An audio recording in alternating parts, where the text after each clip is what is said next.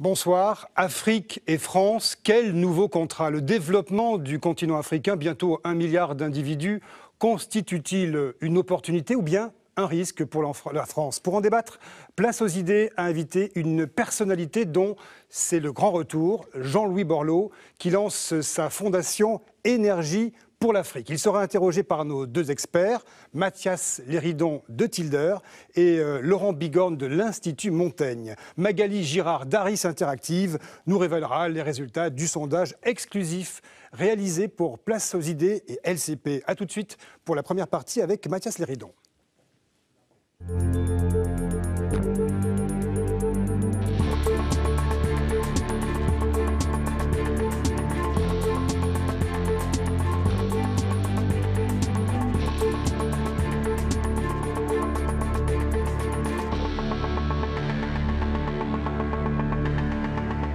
Bonsoir et bienvenue à vous, euh, Jean-Louis Borloo, sur ce plateau de, Place aux idées. Nous sommes très heureux de vous recevoir depuis votre mise en congé de, de la vie politique. Alors, vous allez bien? Très bien, un jeune homme. Vous êtes en pleine forme? En pleine forme. Jean-Louis Borloo, vous n'avez pas chômé euh, depuis, puisque ce projet euh, pour l'énergie en Afrique, dont vous allez nous parler longuement, eh bien, ce projet vous tient à cœur depuis de longues années. Je vous avais vu il y a longtemps. Hein, vous étiez ministre de l'écologie déjà avec le, sous le coup de ce, beau dossier avec la carte de l'Afrique plongée dans le noir. Euh, juste un mot, euh, Jean-Luc Borloo, parce que tout le monde se, pose la question. Euh, la vie politique, un mot d'introduction, c'est terminé pour vous? Non, mais je ne commande pas la vie politique. ni ses acteurs, ni le fond.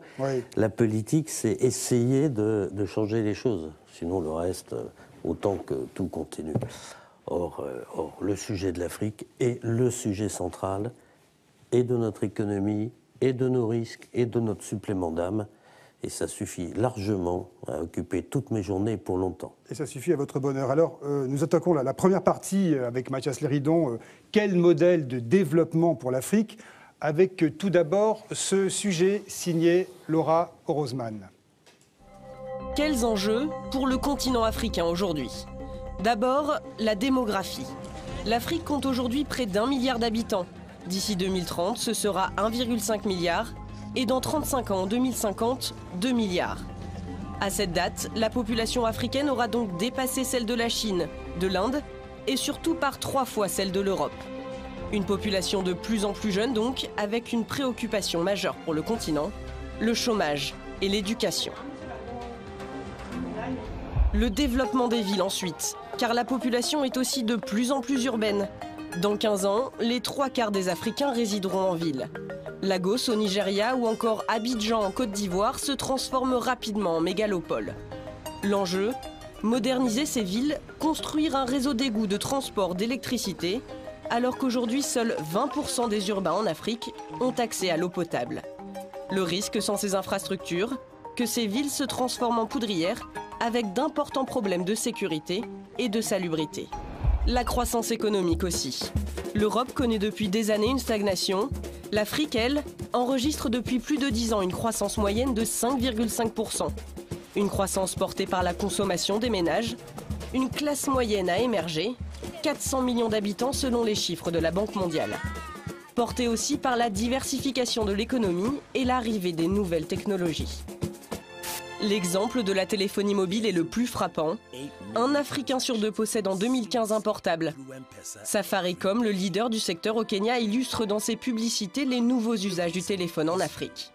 Il ne sert plus seulement à téléphoner, mais à payer ses courses, à surfer sur Internet.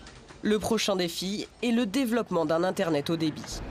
La stabilité enfin, car le développement économique de l'Afrique reste menacé par les conflits et les crises régionales que ce soit avec la poussée islamiste de Boko Haram au Nigeria et d'Akmi au Mali, ou encore avec la pandémie Ebola.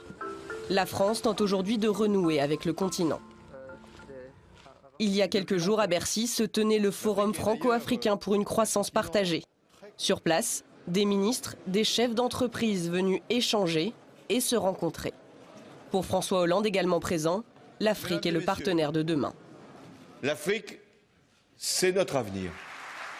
L'enjeu Refonder des partenariats économiques avec le continent et rattraper le retard pris ces dernières années au détriment de certains pays comme la Chine. Merci à vous, Laura, pour cet excellent sujet. On vous a vu acquiescer, d'ailleurs, Jean-Louis Borloo, une Afrique contrastée en plein essor économique, Mathias Léridon. Jean-Louis Borloo, bonsoir. On a vu François Hollande, il y a quelques jours, dire l'Afrique, c'est l'avenir. Vous en avez parlé à Nicolas Sarkozy, de l'avenir de l'Afrique ces derniers jours?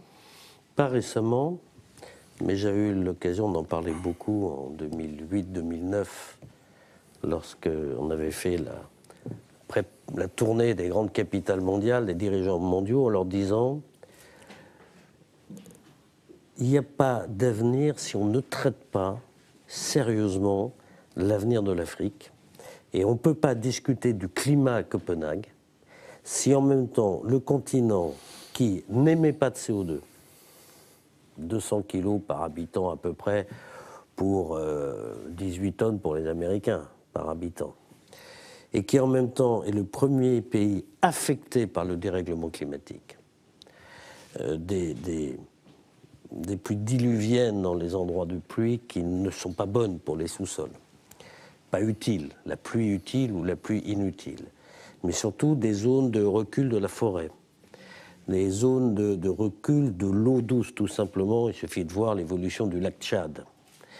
Euh, un stress hydrique considérable qui crée des réfugiés climatiques. on ne peut pas rester les bras, les bras croisés. D'où, à l'époque, le plan justice-climat qui avait été euh, proposé, qui a été d'ailleurs, qui a fait l'objet d'une résolution euh, nuitamment à 4 heures du matin, pour financer, alors on va voir le sujet de l'électricité qui est le sujet premier du développement, euh, qui n'a toujours pas été mis en place et ça fait maintenant six Et vous n'aviez pas réussi à convaincre Nicolas Sarkozy Si, à l'époque, sinon j'aurais pas fait rencontrer euh, et le président Medvedev et le président Obama et le président Singh et enfin, le premier ministre Singh sans l'appui des réseaux diplomatiques français, bien entendu.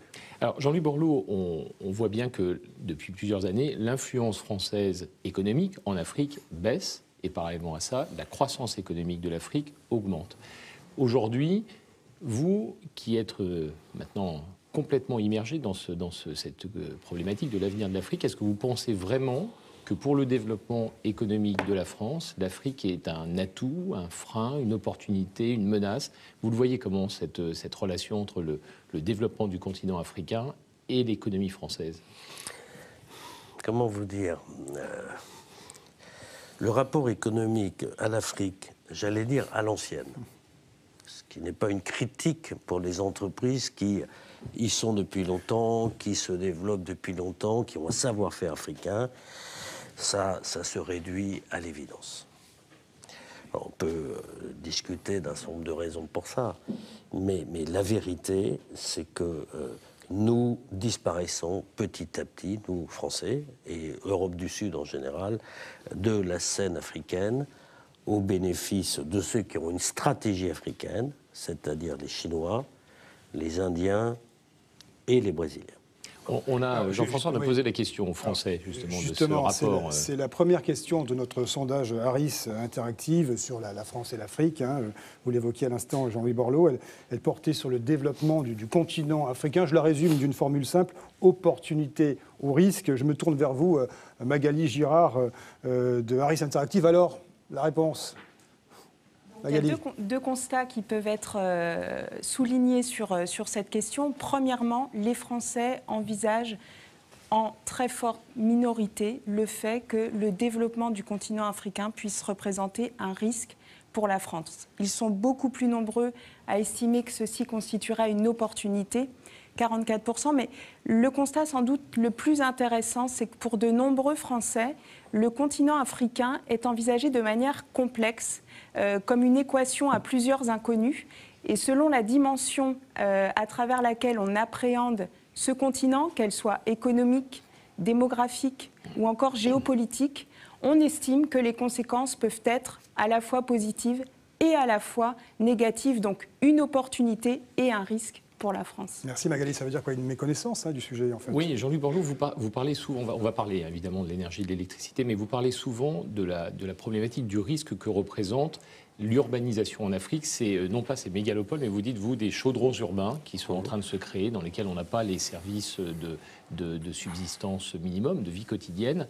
Est-ce que finalement se poser la question de l'énergie en Afrique ça n'est pas déjà trop tard par rapport à ce que représentent ces chaudrons urbains en termes de risque d'explosion sociale, humaine, euh, voire même de temps en temps de conflits, comme on en voit dans un certain nombre de ces, de ces pays. Est-ce qu'on n'est pas déjà trop tard par rapport à ces chaudrons?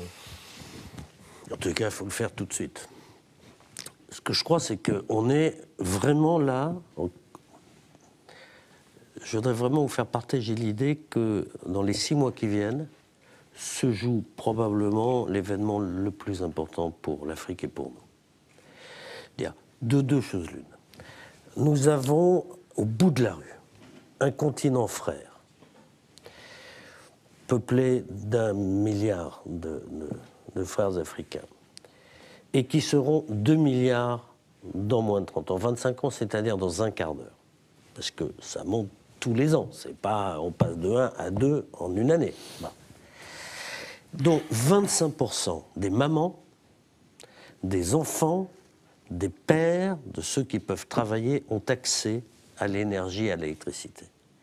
75% est aujourd'hui dans le noir. Et pas d'énergie, ça veut dire des dizaines de kilomètres pour aller chercher l'eau. Ça veut dire euh, pas d'opération, pas d'accouchement la nuit, ou plus exactement des difficultés majeures, pas de capacité à réfrigérer, pas de capacité agroalimentaire, pas de capacité d'emploi, pas de capacité de développement. Pire, de la déforestation, puisque finalement le bois, dit bois de chauffe, devient la première énergie pour faire cuire les, aliments. C'est 80% de l'énergie africaine. Et donc, on, est, on a notre continent frère qui est à 14 km de l'Europe. 14. Et nous n'avons nous, euh, Français, Européens, aucune stratégie à l'égard de l'Afrique, sinon poursuivre ce qu'on appelle traditionnellement l'aide au développement. Je veux dire, c'est juste pas possible. Tous les ans, 10 millions d'Africains en plus, hein, malgré tout ce qui est fait par les uns et par les autres, n'ont pas accès à l'énergie. Donc on est face à, à une situation où on fait un plan Marshall comme les Américains l'ont fait en 45, 46, 47, où ils ont aidé à la reconstruction de l'Europe pour des raisons à la fois politiques, militaires et de commerce et économiques. Et il y a à ce moment-là un avenir extraordinaire pour notre croissance et pour notre économie. Où on ne le fait pas, et j'en reviens à votre question, vous allez avoir, en plus de l'exode rural traditionnel, qu'ont connu les Français, les Européens et les Chinois, vous allez avoir un exode accéléré. Parce qu'au même moment où vous n'avez que 200 millions de familles qui ont la lumière, vous avez 630 millions de portables. C'est-à-dire que l'information sur la lumière ailleurs, dans n'importe quel endroit du continent, elle est totalement partagée. Et donc vous avez une, une rapidité de l'exode, d'une véritable migration, migration hydrique, migration climatique et migration vers la lumière, et l'urbanisation, c'est-à-dire la capacité à accueillir dans de bonnes conditions des populations. L'idée, c'est pas d'empêcher l'urbanisation, c'est un, un, phénomène de l'humanité. Mais si vous ne le faites pas dans de bonnes conditions, évidemment que vous allez vers des chaudrons urbains, des déstabilisations urbaines extrêmement graves. Mais Jean-Louis Borloo, D'accord, mais est-ce que ça n'est pas une nouvelle vision occidentale d'une réalité africaine qui ne correspond pas à cette unité? Parce qu'il y, a, y, a y a des situations extrêmement difficiles, de, extrêmement différentes, diverses, en Afrique. Euh, je disais, 80, plus de 80% des foyers sud-africains sont alimentés en électricité, c'est 28% en Mauritanie, 5% en Gambie. Est-ce qu'il est réaliste de mettre en place une initiative africaine, continentale, face à des pays dont la situation énergétique et la situation économique sont totalement différentes Alors, euh, merci de cette question. Évidemment que les choses sont diverses. Et il n'est pas question qu'il y ait une organisation internationale qui décide à la place des Africains. La question est la suivante. Et c'est un peu ce que vous proposez. non. Aucun pays africain n'a aujourd'hui la masse critique de fonds publics, donc gratuits, ni d'ingénierie publique pour développer un grand programme d'énergie. Euh, si vous mettez de côté le Maghreb et l'Afrique du Sud, encore que vous avez vu, encore la semaine dernière, des délestages considérable en Afrique du Sud. Même le, le, potentiel énergétique sud-africain est en train de se déliter un peu.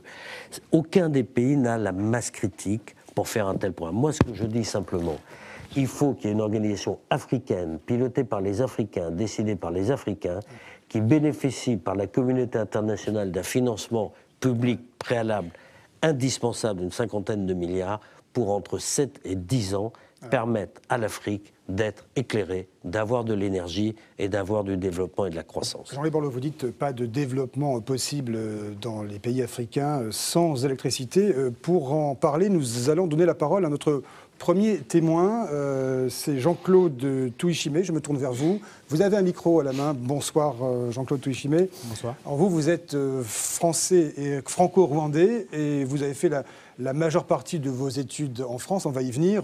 Vous œuvrez dans une société, alors expliquez-nous, qui est spécialisée dans... Bah, la société Aquilon, dans laquelle je travaille actuellement, est spécialisée dans la valorisation de chaleur en électricité. des chaleurs, donc au niveau biomasse, vous parliez de l'utilisation à 80% du bois en Afrique. Euh, le bois peut être utilisé d'une autre manière aujourd'hui sur laquelle on peut produire de l'électricité. Mais vous avez vécu, euh, vous, jadis à Kigali, la capitale du Rwanda, les, coupures de courant, comment ça se passait au quotidien? Bah, Au quotidien, moi j'étais encore enfant, donc j'ai pas forcément un mauvais souvenir par rapport à ça. Euh, la seule chose qu'on se rappelle, c'est euh, les euh, démarrages des, générateurs ou l'utilisation des bougies ou des lampes à pétrole. Aujourd'hui, pour moi, ça n'a pas, pas, été quelque chose qui a été un mauvais, un mauvais souvenir. C'est simplement que j'avais pas les mêmes besoins qu'aujourd'hui. mais la question énergétique en Afrique, tout le monde reconnaît que c'est une problématique pour les gens au niveau éducation, au niveau urbanisation. Il y a beaucoup de problématiques à ce niveau-là. Euh, moi, je l'ai connu quand j'étais petit. Euh, quand j'y retourne, bon, on connaît euh, les coupures d'électricité qui surviennent à chaque moment. Mais par rapport à ce que décrivait à l'instant Jean-Louis Borloo, ce phénomène où finalement on a de plus en plus de zones urbaines qui, qui ont besoin nécessairement d'électricité, vous, qu'est-ce que vous préconisez? Parce qu'au fond, vous êtes dans la croissance verte finalement. Bah, moi, je travaille dans, dans, le secteur de l'énergie. Il faut des développements de, de, sources diverses ou... Aujourd'hui, la, pour moi, hein, la seule manière de pouvoir en fait développer les, les, projets énergétiques, ce serait des projets décentralisés. On voit très bien que à chaque moment où euh, des euh, politiques ou des, euh, des, des, personnalités qui veulent faire des projets en Afrique, ils pensent très gros projets, des projets sur lesquels le développement prend énormément de temps et qui ne bénéficient pas forcément à tout le monde. Alors que la seule manière pour pouvoir développer des projets énergétiques en Afrique, ce serait de pouvoir développer des petits projets au niveau régional sur lequel chacun essaie d'utiliser les différentes sources. Parce que, par exemple, on essaie de regarder en Éthiopie, au Kenya, où eux, ils ont de la géothermie, ils ont du soleil, sur lesquels, au, niveau des régions tropicales, ils peuvent utiliser le bois pour pouvoir produire de l'énergie. Donc ça veut dire que c'est utiliser, par exemple, là, on est en train de regarder un projet, là, vous parlez de l'Afrique du Sud, qui finance un gros projet Inga 3 au Congo, qui va essayer d'électrifier les différentes régions. Donc c'est d'essayer de développer plusieurs petits projets pour justement euh, permettre euh, au continent de pouvoir euh, avoir de l'énergie. Jean-Louis Borloo, vous êtes d'accord avec Jean-Claude Touchimé, multiplier au fond les, captations de sources d'énergie, multiplier les, entre guillemets, un petit projet? L'électricité, c'est deux choses. C'est de la production et de la distribution. Et une des raisons pour lesquelles on a un faible taux d'électrification, d'accès à l'énergie, c'est la densité faible de l'Afrique. Même à 2 milliards, ça reste une densité faible. Et donc, à l'évidence, dans une grande partie du territoire africain, les énergies décentralisées, modulaires, euh, circulaires sont évidemment le développement de demain, d'autant que ces technologies ont connu une réduction de coûts tout à fait considérable dans les, dans les dernières années et particulièrement une robustesse du matériel qui est claire. Mais puisque faites euh, penser, vous parlez d'Inga. Inga, c'est pas une petite affaire. Inga, c'est pas le modulaire, c'est pas le décentralisé, c'est tout le contraire. C'est-à-dire qu'en fait, il faut deux choses. Il faut la caractéristique de l'électricité en Afrique, c'est qu'elle n'est pas tellement nationale. Vous avez à la fois des projets qui sont transnationaux. Prenez Inga, sa vocation à, desservir l'ensemble du bassin du Congo, allant du Gabon, une partie de l'Afrique du Sud, la République démocratique du Congo et le Congo-Brazza, voire remonter un peu au nord, et en même temps de l'électricité de communes communales, euh, villageoises, de petites entités. Et donc il ne faut pas un organisme pour faire à la place, il faut un organisme avant qui ait les moyens de mettre à la disposition des financements publics des petites organisations. Parce qu'à la fin de la journée, qu'est-ce qui se passe? L'électricité, ça se paye à la fin de la journée. Et le problème, c'est l'adéquation entre le coût de la facture et le pouvoir d'achat.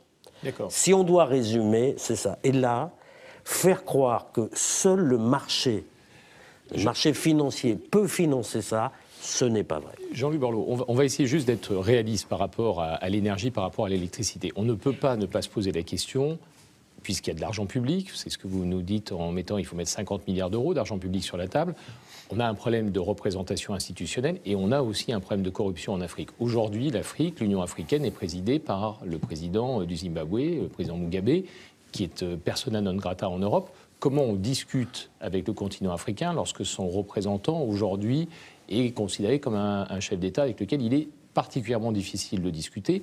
Et deuxième chose, comment on traite le problème de la corruption en Afrique? Alors.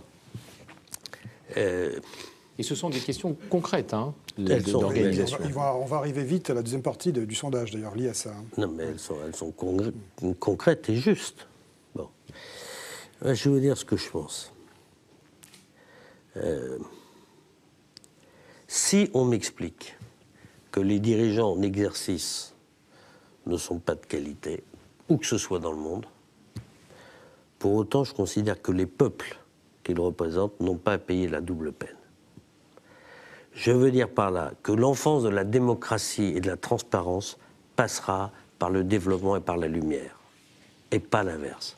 On peut attendre très très longtemps un système parfait, totalement transparent, qui est une démocratie parlementaire à l'européenne, comme si le, le modèle de l'humanité, nous en avions l'absolu privilège, et puis puisque c'est compliqué, puisqu'il y a des gens pas fréquentables, ne pas faire la seule chose qui est intéressante, et pour des raisons morales, et pour des raisons économiques, et pour des raisons politiques et militaires, la seule chose qu'on ait à faire, c'est donner, nous, le coup de main au développement énergétique de l'Afrique. Non, mais parce que le, sujet, il est central.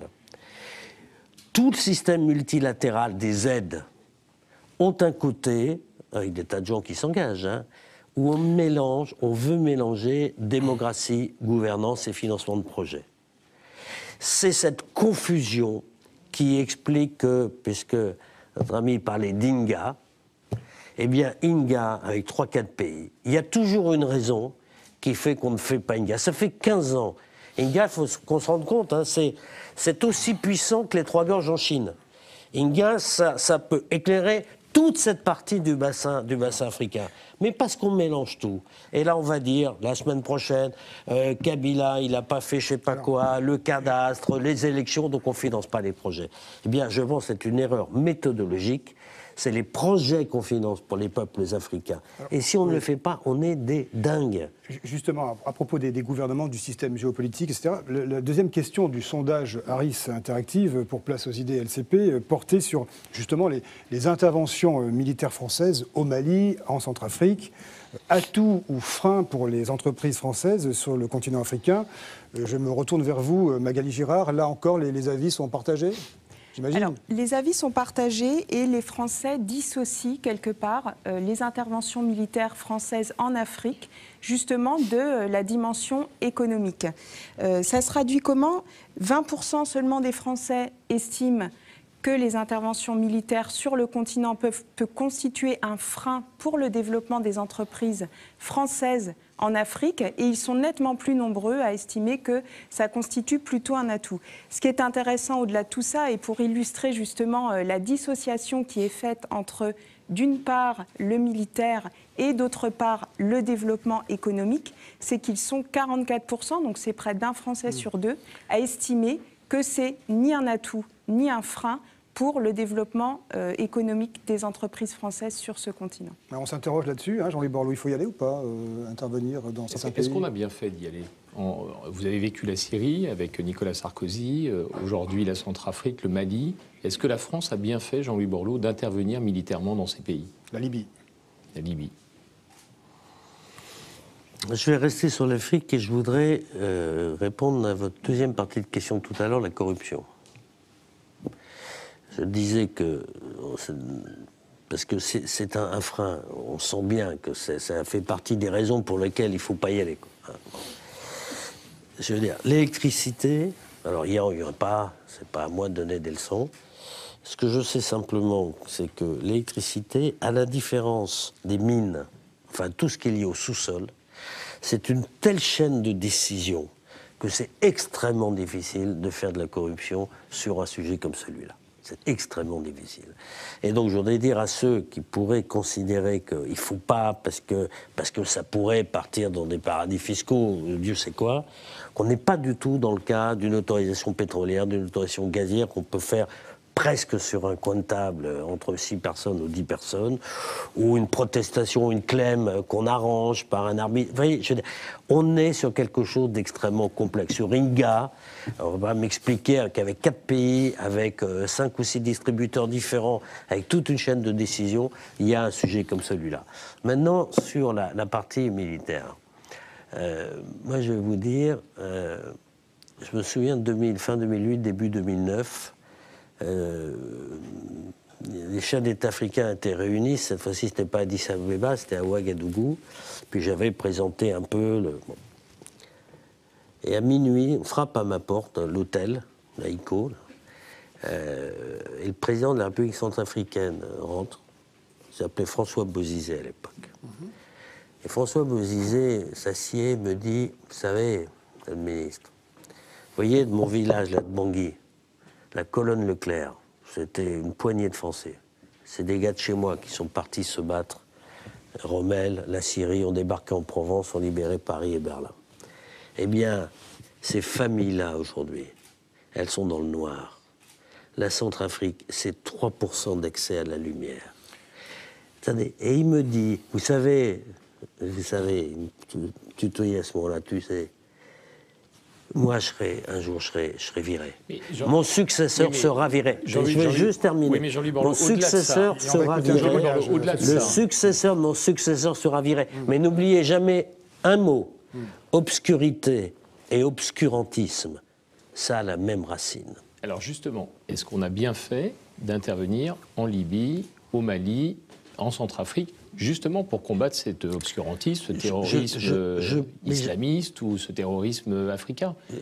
Est-ce qu'on le fait bien? Est-ce fait bien de Lorsque vous engagez une troupe, c'est que vous êtes au, terme d'un processus qui a commencé très longtemps avant. Excusez-moi de vous dire que je ne veux, pas être oiseau de mauvais augure, mais si on ne prend pas, si l'Europe, si le continent ne prend pas la mesure de ce qui se passe, un bouleversement extraordinaire à côté de chez nous. Alors qu'on est là, le même continent, c'est pas ce petit lac qu'est la Méditerranée entre les deux. Je veux dire, tout ça est ridicule. Où on comprend qu'il y a un continent de 2 milliards qui est notre croissance pendant 30 ou 40 ans. Pas seulement parce qu'on a les capacités de, de, produire les infrastructures, c'est le, le propre du génie français, mais tout simplement, c'est un gigantesque. Ou si on ne le fait pas, moi je vous dis, c'est impossible qu'il y ait un tel écart entre deux continents sans qu'il y ait des migrations d'une extrême gravité. Et la phrase du pape en disant euh, la Méditerranée n'a pas vocation à être un cimetière, mais, mais on parle de 5000 personnes. mais on parlera de combien dans 10 ans L'intervention sur l'énergie et l'électricité plus importante pour stabiliser le continent que les interventions militaires. Je ne les oppose pas, mais c'est même pas comparable. Je veux vous dire, le succès ou les guerres elle se joue 25 ans avant, 30 ans avant. Ce sont les décisions stratégiques qui amènent à des impasses ou à pas à des impasses. La Seconde Guerre mondiale est l'enfance du Congrès de Versailles. ce qui se passe. Euh, enfin, comment peut-on. Moi, je, veux dire ce qui m'a euh, stupéfait l'autre jour. J'étais à Bruxelles, président de la commission, et c'était le lundi, le vendredi, il y avait les chefs d'État de l'Union africaine qui se réunissaient à Addis Abeba, sommet des chefs d'État de gouvernement. Je vous passe l'anecdote. Pas un commissaire européen, pas un chef d'État de gouvernement européen, un seul ministre des Affaires étrangères, le, brave néerlandais qui était là. Si vous voulez, euh, euh, nous sommes, je veux critiquer, nous sommes dans une cécité. on a un rapport incroyablement compliqué. Or, nous sommes, nous, les Français, les plus africains du monde. justement, est-ce que compte tenu de cette euh, aveuglement peut-être de l'Europe, des pays européens. Est-ce qu'il y a une chance que votre initiative aujourd'hui soit entendue par les peuples européens, par les pays européens? Est-ce qu'au fond, vous qui avez vécu Copenhague, vous pensez que la COP 21 à Paris, ça peut vraiment déboucher sur quelque chose Je voudrais aussi, Jean-Louis Borloo, qu'on donne la parole à notre, notre jeune témoin. Vous allez répondre d'abord à, la question de Mathias. Dans l'ordre que vous voulez. Mathias d'abord. Est-ce qu'on a, une chance? Est-ce qu'on a une chance de faire en sorte que cette initiative soit soutenue? Oui, sinon je ne me battrai pas pour ça. Euh, qu'est-ce qui se passe? D'abord, je suis convaincu qu'il faut une organisation africaine. Voilà. C'est l'Afrique qui va se redresser au plan énergétique. Et pour ça, il faut que l'Afrique accepte de mutualiser un certain nombre de moyens après au service de chacun des pays ou de chacun des projets.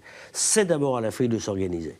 Mais à partir du moment où l'Afrique... Et moi, mon sentiment, pour avoir vu 31 ou 32, 33, je ne sais plus, chefs d'État africains, personnellement, en direct, je vois leur inquiétude. C'est très difficile de diriger un pays africain hein, dans la configuration dans laquelle ils sont aujourd'hui. Quand vous avez 25% d'accès à l'électricité, est-ce que vous vous rendez compte? Même appuyer sur un bouton, c'est un sujet. Bon. Donc il y a cette conscience. Et d'autre part, les grands acteurs économiques européens, ils se disent quoi toute la journée Où est notre relais de croissance européen? Où est-il? Est-ce que ça va être éternellement les machines à outils chinoises Enfin, qu'on vend aux Chinois Non. À l'évidence, le grand marché, il est à côté de chez nous. Simplement, il s'est passé, je ne sais pas, depuis 20-30 ans, une espèce de, de, euh, de, regard inquiet, euh, euh, pas indifférent, parce que moi je vois bien dans la rue, parce qu'il y a eu deux, trois articles, donc, mais cette affaire africaine, parce que dans cette affaire africaine, non seulement vous êtes dans un problème de développement et de croissance. Justement. La seule croissance européenne, elle sera africaine. Mais bien plus que ça, c'est un projet de supplément d'âme. L'Europe s'ennuie. Elle n'a pas de projet. Les peuples européens n'ont pas de projet ensemble. Ils n'ont pas ce, ce, grand truc. Au début, l'Europe, c'était on va faire la paix. Plus jamais ça. Plus jamais la plus jamais. Et, il manque en plus ce projet pour, les, pour la jeunesse, pour, le, pour les peuples d'Europe. Donc, à tous égards, moi je suis convaincu que ça peut fonctionner. Quand une idée est juste, il arrive un moment où elle s'impose. Vous ne savez pas pourquoi. Vous pouvez même faire des tas d'erreurs et des tas de gaffes, ça va marcher quand même. Puis si ce n'est pas encore le temps, bah, vous pouvez faire beaucoup d'efforts très pertinents, ça ne marche pas. On a bien compris le message, Jean-Louis Borloo. Euh, C'est gentil, j'étais venu pour ça. Non, c'était très bien, euh, franchement. Et je voudrais que, conclure cette première partie avec euh, le témoignage de, de Pacom Pabanji. Bonsoir, vous, êtes juste derrière moi. Bonsoir. Alors, Pacom est, un confrère, hein. vous êtes un, journaliste, un jeune journaliste de terrain de, de l'agence France Presse, correspondant. Euh, vous êtes euh, centrafricain, c'est cela? Oui, je suis centrafricain. Et vous avez couvert les théâtres de, guerre, euh, notamment dans le secteur. Vous vivez actuellement en France. J'aimerais que vous réagissiez, Paco, à ce qui vient d'être dit, notamment sur la question qui est très importante de Mathias Léridon. Fallait-il, oui ou non, au fond, intervenir dans, ces régions, dans ces contrées Quel est votre avis, vous qui avez, qui avez vécu ça sur le terrain? En fait, moi, je pense que la France a, enfin, la France a intervenu un peu plus tard euh, dans la crise en Centrafrique parce que M. Borloo avait parlé de, M. Bozizé. Je crois que lorsque la rébellion de la Séléka euh, à majorité musulmane avançait sur Bangui, M. Bozizé avait appelé la France euh, à intervenir pour, pour éviter le pire. Et en, cette époque, enfin, à cette époque-là, euh, il n'y avait eu aucune réponse. Et je pense que s'il y avait eu intervention française, euh, il n'y aurait pas eu massacre, il n'y aurait pas eu plein d'exactions en ce moment.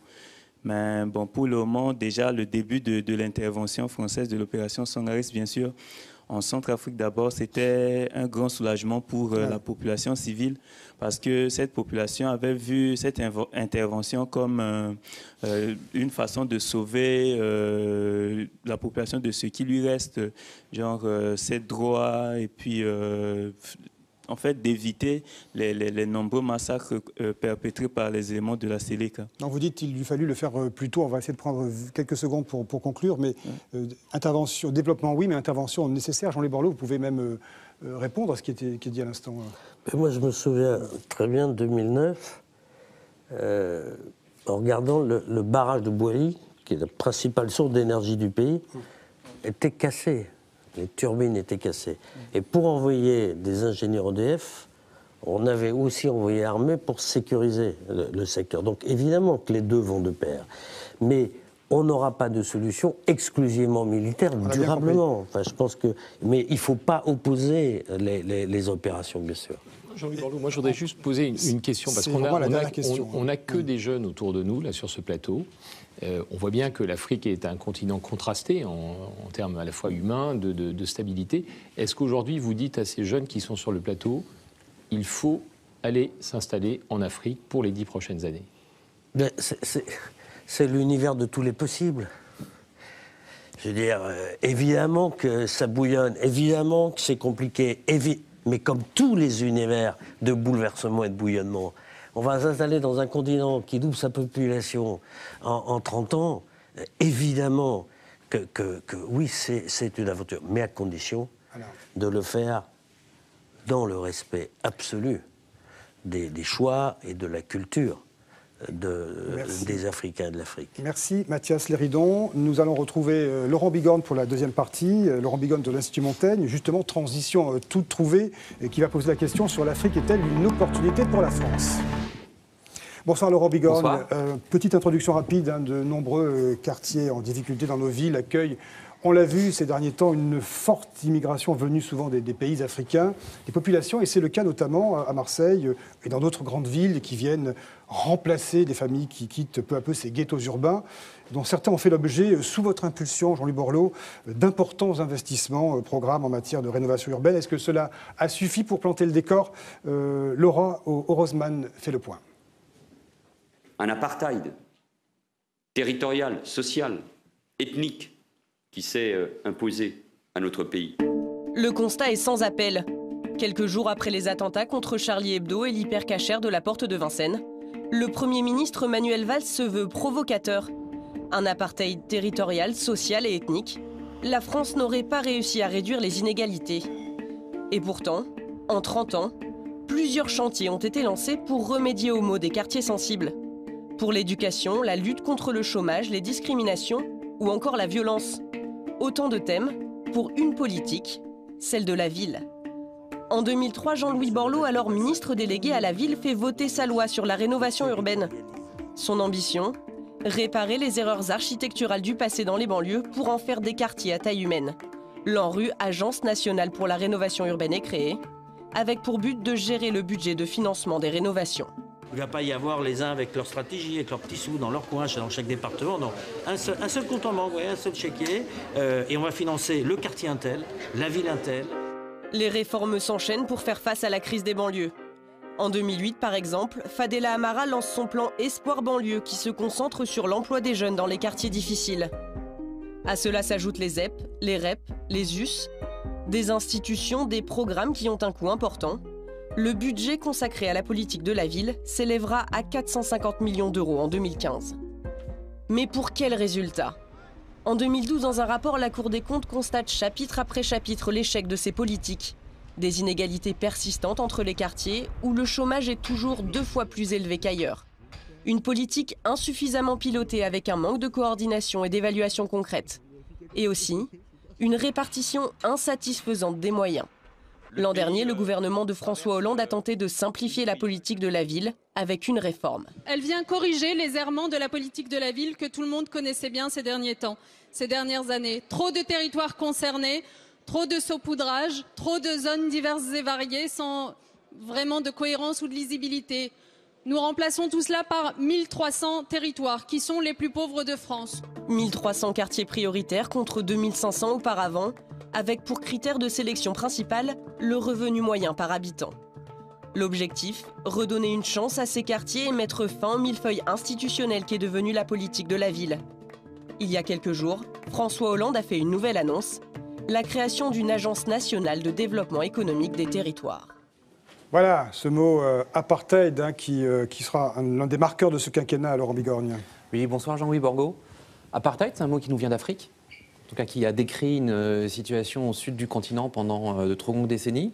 Il vous paraît euh, exagéré, il vous paraît il était inutile, au contraire, il fallait souligner la situation? Je ne sais pas s'il nous vient spécialement d'Afrique. cas, l'Afrique bah, du Sud a vécu sous le régime de l'apartheid pendant plusieurs décennies. Voilà, les États-Unis également. Mmh. c'est quelque chose, malheureusement, qui, est, euh, qui est douloureux. On vit en apartheid aujourd'hui en France? Je, ne répondrai pas à cette question, mais je vais vous dire pourquoi. Et je l'avais dit avant de venir. Moi, j'essaie de bâtir un, programme, un plan, de mise à disposition des moyens humains et financiers pour que l'Afrique atteigne 100% d'accès à la lumière, parce que ça me paraît vital pour nous. Pour faire ça, j'ai besoin de fédérer euh, les Européens, les Européens du Nord, qui sont moins, euh, moins fascinés par l'Afrique que nous, les Européens du Sud, les entreprises, les grands groupes, les petites, les syndicats, les gens de gauche, les gens de droite, le gouvernement français, la diplomatie et les Africains. Et donc, ça m'interdit de faire quelques commentaires que ce soit qui peut, d'une manière ou d'une autre, me ramener dans le champ politique actuel. Voilà. Donc, c'est pas, je l'avais dit avant, je, tout ce que vous voulez sur la France, l'Europe, l'Afrique, l'Europe du Sud, le terreau, tout ce que vous voulez, militaire, électrique, les forêts, tout ça. Mais, rien hmm. qui me fasse rentrer dans le commentaire du commentaire. Voilà, je suis un, séquentiel, je suis pas assez intelligent pour faire deux trucs en même temps. Donc euh, voilà, j'en suis On a le même genre d'intelligence. C'est une émission, on ne s'intéresse pas aux, commentaires, mais à votre vision de long terme. Alors je vais revenir, puisque au fond, vous vous présentez aujourd'hui comme un, grand architecte d'un grand projet ambitieux pour l'Afrique. Vous fûtes hein, euh, un grand architecte à partir de 2003 d'un projet ambitieux pour la France, mmh. mais qui touche aussi euh, nos concitoyens et puis qui a, une, je crois, une valeur qui va au-delà de la France, puisque la question de la rénovation urbaine, ce n'est pas spécifiquement un problème français. Hein. Vous avez cité les États-Unis. On pourrait se la poser euh, ailleurs en Europe. On se l'est posé d'ailleurs. Euh, moi, j'aimerais qu'on revienne un instant sur euh, ces images qu'on voyait sur 2003, cette espèce de souffle que vous souhaitiez insuffler. Vous avez dit à l'époque, on a transformé l'urbanisme, on va transformer l'urbanisme. Votre regard porté sur ces années, ces, 12 ans maintenant de, transformation urbaine en France? C'est plutôt quelque chose dont vous êtes fier ou vous avez le sentiment qu'on s'est arrêté au milieu du guet ou qu'au contraire on n'a même pas commencé à, franchir la rivière? Vous avez un regard là-dessus? Oui, j'ai un regard, bien sûr. Euh, vous savez, quand, euh, je suis comme tout le monde, des périodes très en forme, des périodes moins. Mhm. Quand je suis pas en forme, je vais dans un de ces quartiers pour voir euh, le sourire ou pas des mamans dans ces quartiers-là. Vous voulez dire aujourd'hui? Oui, oui, oui, en ce moment encore. Là Il n'y a pas très longtemps à Chanteloup, par exemple. Chanteloup-Lévin, oui. Absolument. Et je veux dire vraiment ce que je, ce que je pense il y a dix ans, la situation, je ne vous parle pas du terrorisme, je vous parle des, gens dans les quartiers, la situation de ces quartiers était en termes urbains et de logement une honte pour la France et pour l'Europe. On a juste oublié quelle était la situation de ces tours dont il y avait plus de 30 ou 40% des gens qui étaient dedans, euh, les, les, incendies qu'il y avait partout, 40 émeutes urbaines par jour entre 1995 et 2005, jusqu'au moment où on a même déclaré l'état d'urgence en 2005, parce qu'il y avait des émeutes le même jour. Ça, fait, ça fera 10 ans, ça, ça fait 10 ans. Ça, faisait 10 ans il y a quelques jours. Et, quelle était la situation? C'était pas qu'il y ait des immeubles en grand, c'était pas ça le sujet. C'est qu'il y avait une fracture avec euh, les quartiers étaient fermés sur eux-mêmes avec des bars, avec une différence d'urbanisme qui était une, véritable euh, une, cicatrice au milieu d'un tissu urbain. Et la dégradation de plus en plus rapide devenait une autorisation à avoir une autre culture, une autre langue, d'autres règles, et une situation que j'estimais, moi, de pré-guerre civile. Et on est passé pas loin en 2005. Essayez de vous souvenir un tout petit peu. Donc il y a eu un plan qui avait comme seule vocation de casser cette logique de ghetto urbain. Ce n'est pas l'outil urbain qui va régler le reste des sujets, la capacité éducative. Un de mes grands, par exemple, on a mis un de mes trucs... d'urgence, on l'a stabilisé, si je non, non, mais on a, je si on l'avait pas fait, vous auriez des drapeaux noirs aujourd'hui dans l'ensemble de quartiers. C'est ça la vérité, si ça n'avait pas été fait. Mais par ailleurs, moi je peux vous dire, un des échecs de la République, c'est les mamans isolées. Vous savez, ces mamans dans ces quartiers qui ont 3, 4, 5 enfants et qui parfois sont seules ou accompagné de manière euh, épisodique. Euh, parce que la vie est comme ça, la vie urbaine, dans, toutes les, dans toute la société, vous avez des fractures et des ruptures. Les mamans isolées, le soutien aux mamans isolées, le soutien à la scolarité, il y a plein de sujets qui doivent être traités en même temps. Mais je pense que si on n'avait pas, par une toute petite agence, pour ça qu'elle ressemble à l'agence d'électrification de l'Afrique. Par l'agence nationale de rénovation urbaine, c'est quoi? C'est 50 personnes, aujourd'hui 70, qui ont piloté, qui ont aidé chacun des 200 sites. Parce qu'aucune des communes n'avait la masse critique pour faire un tel programme. 44 milliards ont été mis, 200 000 logements ont été démolis, ceux qui créent la vraie fracture avec le reste du tissu urbain. 30 km d'avenue ont été créés, 600 000 logements ont été résidentialisés. Et la phrase la plus bête qui existe dans ce domaine, je veux dire ce que c'est, c'est les gens qui disent hein, il ne faut pas faire de l'urbain, il faut faire de l'humain. Comme si ce n'était pas les humains qui étaient dans l'urbain et dans les logements. Jean-Louis Borloo, euh, je ne sais pas si on va pouvoir faire apparaître à l'écran le résultat du, sondage qui concerne justement la, politique de la ville. C'était, je crois, la, quatrième question qui, était posée. Selon vous, la politique de la ville mise en place en France depuis dix ans pour améliorer la situation dans les villes de banlieue a-t-elle été plutôt, euh, plutôt pas ou très efficace? Alors Magali Girard, quel est le verdict? Quelle est l'opinion euh, à ce sujet? La réponse à cette question est très certainement à replacer dans un contexte euh, économique et social dégradé, euh, à l'heure où euh, les Français font part d'une défiance assez élevée à l'égard des politiques et des pouvoirs publics. Et le regard qu'ils portent sur l'efficacité de cette loi mise en place est assez critique et n'y échappe pas. 89% d'entre eux euh, estiment que les politiques mises en place à l'époque n'ont pas été efficaces, n'ont pas été en mesure d'améliorer la situation dans ces banlieues. Et c'est un jugement euh, donc critique qui est partagé, quelle que soit la, catégorie de, population à laquelle on s'intéresse, à la fois jeunes et moins jeunes, et qu'on habite en province ou dans des milieux euh, beaucoup plus urbains. Merci euh, Magali. Euh, allez-y. Oui, je vais me risquer une interprétation. Euh, moi, je suis comme vous. Je pense qu'il ne faut pas opposer le béton ou urbain et l'humain. Est-ce que, malgré tout, dans la boîte à outils des politiques, on n'a pas manqué ce qu'il aurait fallu faire à côté de ce qu'on a très bien fait, de ce que Rue a très bien fait, c'est-à-dire le béton, la rénovation urbaine Est-ce qu'on n'a pas manqué au fond, une centralisation plus forte, ou en tout cas, j'allais dire, un management plus fort en termes d'éducation, d'emploi, d'accès à la santé? C'est le sentiment qu'on a toujours été comme il aurait fallu qu'on soit, du côté du gouvernement, des gouvernements successifs. Hein, on ne cherche pas de responsabilité ici. Euh, mais est-ce que vous avez le sentiment qu'on a eu, au fond, cette vision suffisante, cette ambition que vous avez, par exemple, aujourd'hui, dans le projet d'électrification du continent africain? Je pense que dans le domaine de la rénovation urbaine, on l'a eu.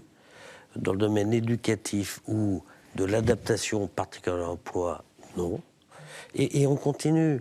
Quand euh, actuellement la loi Dallot, vous savez, le droit opposable au logement, les préfets mettent dans ces quartiers-là en priorité les bénéficiaires de la loi Dallot, on ne fait qu'aggraver. Mais je voudrais revenir sur, ce sondage parce que vous se méfiez euh, de tout ça. Euh, il y a un sondage Sofres qui a lieu tous les ans, qui, est dans les, qui a été fait dans les villes où il y a eu des rénovations urbaines, avec deux colonnes, les gens du quartier et les gens qui ne sont pas du quartier. Nancy, ou le haut de lièvre. Hein. Donc vous avez les deux colonnes. Pour prendre une illustration. Je vous écoute. pardon? Le ancien que je suis vous écoute. Très bien. Mais j'aurais pu prendre quartier Kennedy ou Wilson ailleurs. Bon. Le, sondage, c'est considérez-vous que la rénovation urbaine du quartier, de votre ville ou de votre quartier a été une bonne, une mauvaise chose? 89. Est-ce que ça a changé votre vie positivement? C'est ça la phrase, les gars. 89% des gens concernés des gens concernés. Parce qu'en fait, la question de tension. Non, mais la question de tension, mais le mot politique de la ville, c'est un truc qui est très très vaste. C'est quoi politique de la ville Est-ce que c'est de faire la tour triangle, pas faire la tour triangle, politique de la ville C'est une phrase qui est très très large. Mais je crois que ça, il fallait le faire, et que de toute façon, globalement, ce n'est pas suffisant. Et il faut être très attentif à la situation actuelle. Pour clore ce débat et, pour revenir, avant de revenir à l'Afrique, je voudrais juste entendre le, témoignage avec vous, euh, Mariam Sissé. Euh, bonsoir, vous êtes euh, adjointe au maire de Clichy-sous-Bois, donc vous êtes membre du Parti Socialiste, il faut le préciser. Est-ce que vous pourriez dire, Jean-Louis Porlos, quel, est votre sentiment sur la politique de la ville? Est-ce qu'il y a eu, selon vous, des choses très concrètes qui ont été faites, très positives ou des abandons? Quel est votre, votre sentiment à ce sujet? Effectivement, 12 ans après le lancement des plans de rénovation urbaine, sur le terrain, on ressent des difficultés, notamment liées à la mixité sociale. Enfin, c'était un des enjeux et un des paris de ce plan, chose qui n'a pas été euh, justifié sur le terrain. On construit euh, des nouveaux bâtiments, certes, sur euh, des lieux, sur les mêmes lieux. la question, c'était de savoir est-ce qu'il ne fallait pas plutôt délocaliser les reconstructions sur d'autres territoires où certains maires ne respectent pas la loi SRU pourraient, dans ce cadre-là, développer des logements sociaux sur leur territoire? Alors c'est l'éternel combat entre l'urbain et l'humain, ce que vous disiez tout à l'heure, Jean-Louis Borloo. Non, non, mais je, suis content de, mm. voir une élue de, Clichy. D'autant que en décembre, votre maire et votre ancien maire m'ont invité à, la Tour Trio en me disant Jean-Louis, il faut que tu viennes, tu vas voir comme le quartier est transformé. Euh, j'étais ce jour-là à Addis Abeba, je leur ai envoyé un message téléphonique, il y a eu une jolie cérémonie, hein, si ma mémoire est bonne, il y a deux mois.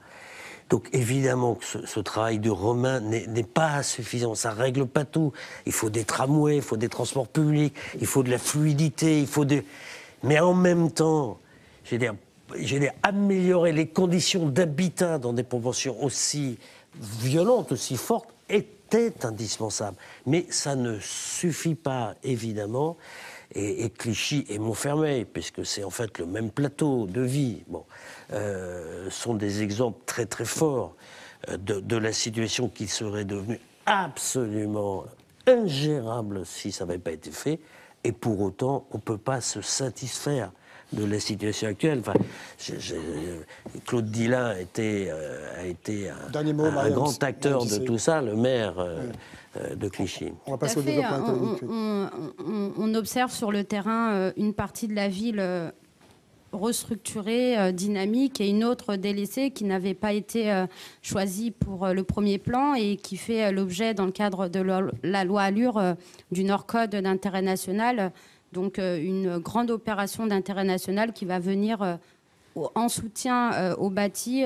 Restructurer le quartier, enfin 10 ans ou 12 ans après, est-ce qu'il n'aurait pas fallu intégrer euh, ce quartier, enfin ces copropriétés dont on parle beaucoup, dans ce premier plan également. Les, raisons, les, ce qu'on appelle les copropriétés euh, dégradées, il y en a quelques-unes en France, il n'y en a pas beaucoup, mais là où il y en a, c'est on n'a pas les outils objectivement. Il faut une réforme de la Constitution parce qu'on s'attaque à la propriété, à la différence du reste. On ne va pas rentrer dans la technique, mais euh, Chêne Pointu euh, ou Sainte-Eulalie près de Bordeaux, on a une dizaine de cas qui sont pas réglés ou mal réglés. Merci à vous, Mariam Sissé, pour ce témoignage ce soir. Alors, Laurent Bigorne et Syl ont reparlé de développement économique. Oui, on va, revenir à l'Afrique euh, après, après ce, retour nécessaire sur la rénovation urbaine. Vous avez dit, j'ai vu dans un quotidien, au fond, on manque aujourd'hui, vous avez plus dur, nous n'avons pas de véritable stratégie euh, africaine. Euh, moi, la première question que j'avais envie de vous poser, c'est ce déficit stratégique de, de l'État, j'imagine, hein, vous l'estimez euh, remonter à combien de temps De la société, de la société européenne en général, euh, de l'Europe, de l'économie, si je reviens à la France pour des partenaires sociaux. Quand il y a eu un grand débat entre les partenaires sociaux africains et européens, je veux dire, c'est euh, là il y a une initiative qu'on a vue à Bercy qui était une bonne initiative. bon, mais ça, se construit, c'est en train de, ça va dans le bon sens ou au contraire on reste sans stratégie aujourd'hui? Moi, je, qu'est-ce que j'essaie de faire? J'essaie de tirer le signal d'alarme en disant, mes enfants, c'est l'Afrique, c'est notre chance ou notre drame. Voilà. Et vous êtes entendu? On a, on a euh, je commence doucement. Oui, euh, je dois dire que le président de la République, le gouvernement aide au maximum. On ne peut pas dire le contraire. Je, voudrais vous couper un instant là-dessus, parce que vous disiez tout à l'heure, il faut que je sois entendu des deux côtés, il faut que je sois accepté des deux côtés sur un sujet qui est un sujet d'intérêt stratégique, national, européen. Quand vous dites le président de la République, le Premier ministre m'entend, euh, le camp d'en face, l'opposition, vous entend aussi ce matin, petit déjeuner tôt ce matin avec euh, des, parlementaires euh, de la droite et du centre. La mobilisation, ils seront présents le 3 mars le 3 mars, on va faire le point de la Fondation, où on en est, quels sont les pays africains qui sont aujourd'hui mobilisés, qui peut diriger cet organisme, quel Africain Parce que vous savez, à la fin, c'est un projet, une organisation, puis un patron. Voilà, le reste, le reste c'est non mais c'est des blagues. Mmh. Je veux dire parce qu'une des difficultés, c'est, vous vous rendez compte, la, personne qui va, qui va aider chaque pays africain va avoir un poids en Afrique absolument considérable. Donc le choix fait par les Africains est vital. Évidemment, ils me demandent un petit peu, donc je fais des suggestions. Ils signent, les Africains sur, votre initiative, vous avez déjà un certain nombre de pays qui vous disent fermement on, monte à bord, on signe oui, oui, 30. Vous pouvez nous dire combien 30. 30 hein. Et vous, vous visez une cinquantaine ah mais c'est pas je vise rien. C'est il y a une masse critique à partir de laquelle on pourra dire l'Afrique pourra dire qu'elle s'est organisée. Alors, s'il y a 54 pays, on ne peut pas dire est-ce qu'il y a 35, est-ce que 41. Je veux dire, si vous manque les sirops, euh, ça ne marche pas. De, ce point d'observation qui est le vôtre, euh, avant de passer au sondage, vous avez le sentiment aujourd'hui que la voix de la France, d'une certaine façon que vous incarnez, même si vous êtes mis dans une posture d'intérêt général et de long terme, cette voix de la France, elle est entendue, elle est attendue, elle est écoutée aujourd'hui? On attend un message spécifique on considère que bon, c'est une initiative de plus? C'est le sentiment d'être bien accueilli là où vous êtes accueilli? Notre pays porte? Écoutez, j'ai le sentiment d'être, d'être euh, fraternellement accueilli, voilà, avec tendresse, euh, avec, euh, avec, mais, c'est presque physique.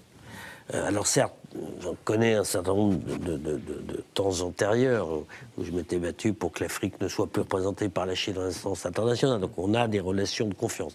Mais néanmoins, c'est, si vous voulez, je, je, vais, je vais, non mais répondre à votre question. Je, pense que l'Afrique, elle est, elle est à la fois un peu désespérée de l'Europe. Bon, on avait à peu près de l'Europe en général. Mmh. Euh, il y a 25 ans, il y avait autant de Chinois que d'Africains. Il y avait autant de, Chinois que de Français en Afrique. Mmh. Aujourd'hui, il y a 1 300 000 Chinois et il y a 100 000 Français. Mmh. Ah, les, Chinois, sont beaucoup plus nombreux que les Français au D'accord, mais pas en Afrique. Ils sont un peu plus loin. Ils n'ont pas la, ils n'ont ils n'ont pas d'empathie culturelle avec l'Afrique. Ce que nous avons, nous. Nous avons. Il faut bien comprendre qu'il n'y a, pas, a pas de peuple plus, plus proche de l'Afrique, pas géographiquement, que l'Europe et, et notamment que l'Europe du Sud et que la France, et c'est pas un problème simplement de francophonie, c'est un problème de rêve, c'est un problème de vision, c'est un problème de culture, c'est un problème d'âme, c'est un problème de spiritualité. C'est, je veux dire, on est vraiment, je veux dire, on a plus avec le Rwanda qu'avec la Corée. Qu'est-ce que vous voulez que je vous dise?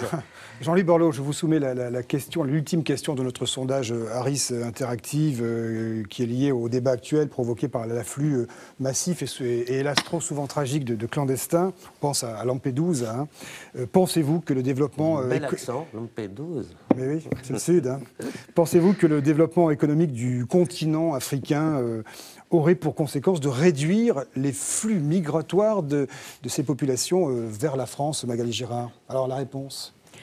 On l'a vu au, tout début avec la première question, les enjeux sont multiples et les Français les envisagent de différentes manières. Si l'on interroge un peu plus précisément l'incidence du développement économique, cette fois du continent, et le lien que cela peut avoir avec les flux migratoires donc de ces populations vers la France, les Français envisagent extrêmement bien le lien qui pourrait exister entre d'une part le développement en Afrique et d'autre part l'afflux de ces populations en France, puisqu'ils sont 80% à être convaincus, 81% même, à être convaincus que ceci aurait pour conséquence de réduire euh, les flux migratoires de ces populations vers la France. Ils en sont même euh, intimement convaincus pour près euh, d'un tiers d'entre eux. Donc la vision est extrêmement claire lorsqu'on cerne des dimensions plus précises, qu'elles soient économiques ou démographiques, comme c'est le cas ici. Merci Magali. Je ne sais pas s'il y a des arrière-pensées, au fond, euh, quand on pose cette question, Jean-Louis Borloo.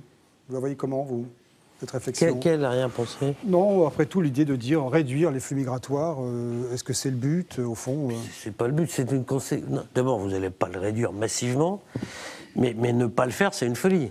Bon. attendez. C'est un argument dans le débat politique actuel, vous voyez, je sais on pas, agite les chiffres rouges. Mais je me fous du débat. ce qui m'intéresse, c'est de convaincre un milliard de personnes de plus à 14 km, pensez une seconde qu'un tel événement démographique n'a pas d'incidence dans un siècle du nomadisme, où certains mettent huit jours dans des conditions dangereuses pour faire 100 km, d'autres vont déjeuner à New York et rentrent l'après-midi, donc un monde du déplacement, ce qui caractérise le 21e siècle, avec des portables, 650 millions un milliard dans quatre ans de. Donc l'information partout. Et pensez une seconde qu'il va rien se passer en termes de grande migration, sans compter les conditions climatiques et, de stress hydrique, c'est-à-dire euh, d'eau, euh, tout simplement, c'est une folie. Alors, mais moi je vous dis, on aura, oui, alors est-ce que c'est 10, 7, 15, 20 ans Il va y avoir un sujet majeur. À l'inverse, c'est une chance extraordinaire. Le continent africain, il est multiculturel. 700 800 langues, une jeunesse, des espaces fantastiques, des capacités qui est passée directement au filaire. C'est c'est une puissance du monde. Et nous, on est là, et pas penser que. On, serait taquin, on dirait qu'avec vous, euh, maintenant la France comprend que l'homme africain est entré dans l'histoire, mais je ne vais pas être taquin ni, ni polémique. Vous avez raison. Euh, il y a une question que j'avais envie de vous poser dans l'établissement de, rétablissement de ces relations de confiance, parce qu'on ne peut pas la taire après ce qui s'est passé en janvier.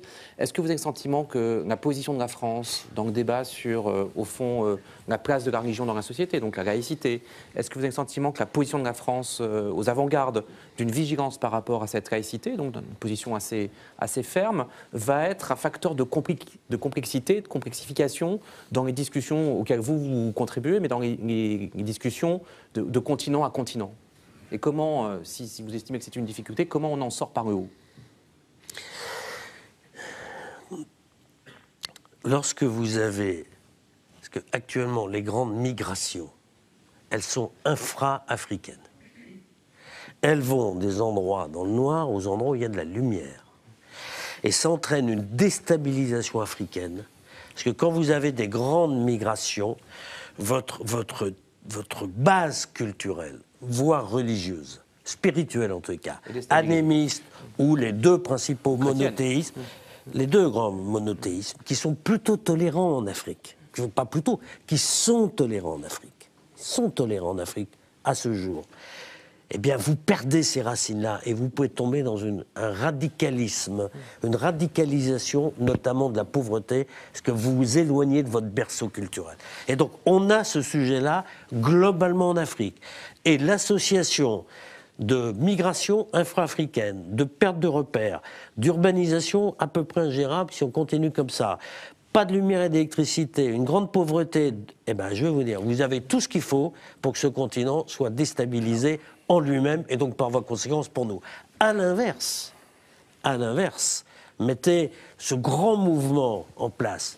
Le, nombre d'Africains travaillant en Europe qui ne vont pas faire du compassionnel, mais qui vont avoir une carrière très bien formée dans ce grand projet est de nature à changer la donne. Maintenant, sur le reste, ne mélangeons pas tout. Ce qui est vrai, c'est que l'Occident a un relatif recul de la spiritualité ne parle pas forcément des religions, mais de, oui, de la spiritualité. Das Auto comme seul projet, c'est compliqué. Et, je pense que justement, un projet comme celui-là est de nature à apporter un peu de supplément d'humanité. On va peut-être entendre le, témoignage d'abord de, Vous parlez de la jeunesse, vous savez, le dynamisme de la jeunesse euh, formidable. Et je me tourne vers vous, euh, Aïcha Nono, bonsoir. Bonsoir. Alors vous, vous êtes euh, camerounaise Oui, exactement. Je suis et française aussi. Et, votre credo, c'est au fond de, se dire euh, euh, il faut retourner chez soi et au fond faire progresser l'Afrique pour les Africains et, par les Africains aussi. Hein. Exactement. Qu'est-ce que vous faites dans la vie? Alors, je suis consultante en stratégie et organisation. Euh, et euh, là, actuellement, euh, justement, je, vais intégrer une multinationale qui va me permettre de faire des projets en Afrique. Concrètement, qu'est-ce que vous allez faire? Dans quel secteur? Alors, en banque, dans le secteur bancaire. Donc, ah. l'objectif, c'est des projets, par exemple, de développement de banques étatiques, par exemple. Enfin, il y en a un en Côte d'Ivoire actuellement qui sont en train de mener. Enfin, pas mal de projets dans ce sens-là. Et moi, je suis totalement convaincue par le fait que l'Afrique a besoin de sa jeunesse et euh, pour se développer d'abord. Et donc euh, l'objectif de nous, euh, enfin de, des personnes comme moi qui avons eu l'opportunité de faire des études. notamment dans des pays tels que la France, donc des études quand même d'un certain niveau, c'est de, de, pouvoir apporter notre savoir à, à l'Afrique en entrant notamment sur place, parce que tout se fait sur place en fait. Donc vous dites, vous, pas de misérabilisme, mais au travail, c'est ça hein? Exactement, pas de misérabilisme. Je suis pas, je suis pas une afro-optimiste, mais bon, comme je m'appelle, je suis une afro-réaliste, à savoir, euh, oui, effectivement, l'Afrique a, a, des problèmes, mais il y a surtout, et euh, surtout des opportunités. Et euh, donc, il y a beaucoup de choses à faire, et c'est à nous, de, nous les Africains, de, de, se mettre au travail, de rentrer, de se mettre au travail. Merci à vous, Aïcha. Message reçu. Laurent Bigorgne cet afro-optimisme que vous semblez partager euh, tous, les deux, euh, est-ce que ça peut conduire, euh, au fond, à, nous détailler un peu ce projet que vous avez en tête? Parce qu'on on voit un peu la complexité de cet accord à obtenir au sud de la Méditerranée, on voit la complexité aussi des sommes à réunir. Vous avez parlé de 50 milliards d'argent public, 200 milliards, j'imagine, d'argent, d'argent privé. Concrètement, le calendrier ou les premiers, les premiers pardon, déploiements, enfin, vous, vous, avez un peu une échelle de temps en tête hein Un mécano? Vous partagez avec nous? Oui. Euh, en, le disant, je me mets une pression évidemment impossible. Hein. Mais tout est en tendresse dans l'émission. Non, mais, non, mais c'est pas ça. Mais je pense que si on met pas de calendrier, il se passe rien. Bien sûr. Donc on va faire un compte. Alors d'abord, créer un outil, puisque maintenant tous les chefs africains sont convaincus qu'il faut l'enrue de l'électrification de l'Afrique, pour simplifier. Euh, ben on sortira pas Inga, qui sort à quatre pays s'il n'y a pas une ingénierie de haut niveau. Et pour Inga, Inga, il y a 7 milliards de travaux, c'est 11 milliards le projet, parce qu'il y a 4 milliards de commissions diverses et variées pour beaucoup d'organismes filiales du multilatéralisme, je ferme la parenthèse. Enfin, 7, il faut 2 gratuits, 5, on sait avoir une dette structure, on sait sortir Inga en 2 ans et demi. Mais il faut un outil. Donc, si tout le monde est d'accord pour cet outil, le compte à rebours, c'est quoi? Donc, il faut qu'il y ait un patron. Je pense qu'on l'a trouvé. Je pense qu'il fera l'unanimité. On peut savoir qui c'est? Ben, je vous le dirai quand tout le monde aura dit que c'était bien. pas savoir quelle est votre idée Je ne vais, je vais pas euh, créer des emmerdements absolument inutiles. Euh, mais, mais, je suis. Mais, il est. Putain, mais vous n'avez rien compris. Il est forcément ah, africain. Mais Et il est crédible dans toute l'Afrique. Il est à la fois rationnel, rigoureux, crédible, organisé, méthodologique. C'est un problème de méthode. Disponible? Et, et, et peut-être bientôt disponible. Bon. Euh, bon. Donc, non, mais ça, c'est vital. Bon. on a compris. Ensuite, il y avait un compte à rebours. Euh, le, monde va se réunir euh, à Paris en décembre. Ça s'appelle la conférence des partis pour le climat. on va arriver, et six ans après Copenhague, qu'est-ce qu'on va dire? Euh, est-ce que depuis, euh, on a continué à émettre plus de CO2 qu'avant? Globalement, la réponse est oui. Pas la France. Globalement, la réponse est oui. Est-ce qu'on a mis en place le fonds opérationnellement vert pour l'électrification de l'Afrique, du moins pour l'aide à l'Afrique, et aux petites îles, disait la résolution, de 10 milliards de dollars par an, ce qui, depuis, devrait être 60 milliards déjà mis sur le terrain? La réponse est non. La réponse est non. Donc, ne pensez pas, il va y avoir la grande fête du climat, Paris, tout le monde, des entreprises vont se mobiliser, regarde comme mes produits sont beaux, enfin, bon, très bien. Sauf que, à la vérité, six ans après, il ne s'est pas passé grand-chose pour les pays qui morflent déjà du dérèglement climatique. Et donc, ce que je dis, moi, évidemment qu'il faut, avant avoir mis tout ça en place, donc c'est forcément avant le mois de décembre. Donc quelque part, c'est entre la fête de la Vierge, vous voyez, au mois d'août, enfin bon, quelque part par là. Et, et, et moi, ce que je dis, l'Occident avait dit 10 par an. Moi, je vous dis qu'avec 4 par an pendant 10 ans, on fait le job, mais il faut que ce soit 4 de vrai argent et pas 10 de faux argent. Merci à vous, merci euh, Jean-Louis Borloo, merci beaucoup d'avoir été notre invité. Ce sera le mot de la fin. Merci à Mathias Léridon, Laurent Bigorne, Magali Girard et à toute l'équipe euh, pour avoir réalisé cet opus passionnant consacré à l'Afrique. À bientôt pour une nouvelle édition de Place aux idées sur LCP.